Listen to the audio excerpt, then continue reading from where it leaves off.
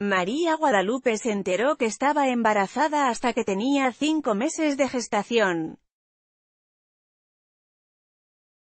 Asegura que, por cuestiones económicas, a las 34 semanas acudió por primera vez a practicarse un ultrasonido a una clínica particular, donde dice que visualizaron gemelos. Yo me enteré a los cinco meses que estaba embarazada, no sabía que eran gemelos hasta que me practiqué el ultrasonido y me dicen que son gemelos, es el de FIUR, en la clínica Soledad Orozco y en el hospital de Ticomán, me dieron las frecuencias cardíacas de los dos, cuánto medían, me dieron las imágenes y me dijo el doctor que eran gemelos, en todos los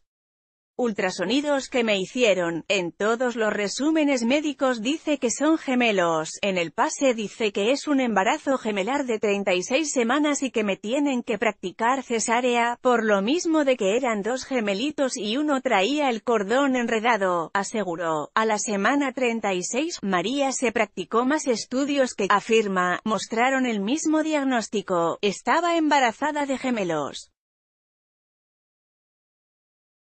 Bebé presuntamente robado se pudo haber desintegrado antes de nacer. Según médicos los estudios que se realizó María Guadalupe le fueron practicados uno en un laboratorio particular, y dos en instituciones públicas.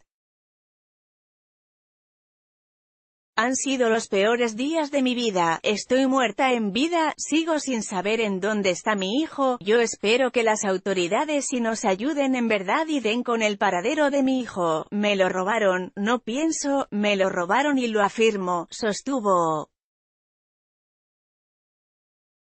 Señala que nunca quedó conforme con la explicación que le dieron los médicos del hospital Ticomán.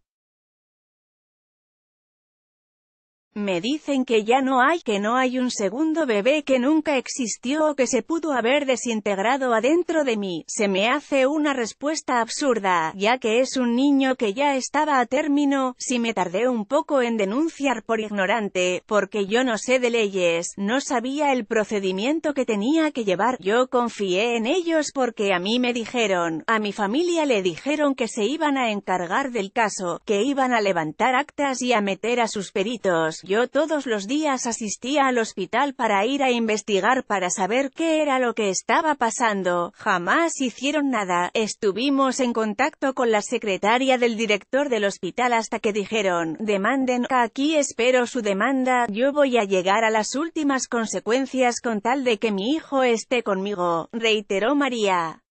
La Procuraduría General de Justicia de la Ciudad de México continúa recabando información del caso.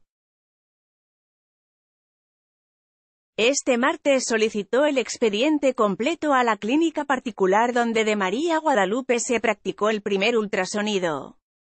El secretario de Salud de la Ciudad de México, Román Rosales Avilés, informó que ya se entregaron a la Procuraduría de la Ciudad dos ultrasonidos, videos de los pasillos y de afuera de la sala de cirugía, en los que presuntamente se aprecia que el personal médico salió con un solo bebé, también entregaron testimonios de personal médico que atendió a la paciente antes y durante la cesárea. Entregan a PGJCDMX peritaje sobre caso de bebé robado en Hospital Ticomán con información de Elizabeth Mavilge.